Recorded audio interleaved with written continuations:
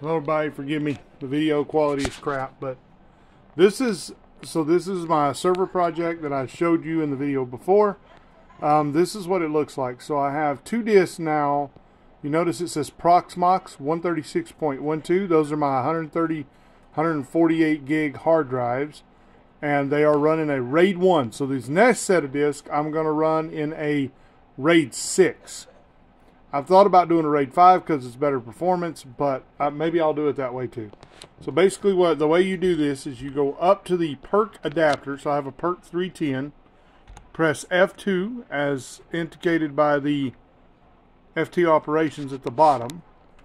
And then you create new VD and then you'll, it's a virtual disk, then you'll go RAID, you'll hit enter and then go down to RAID 5, press enter, and then you'll go click tab and then space, space, space, space because I want all of these disks and you notice it's 1.675 terabytes. So that should be more than enough space to do all the virtualization I want to do.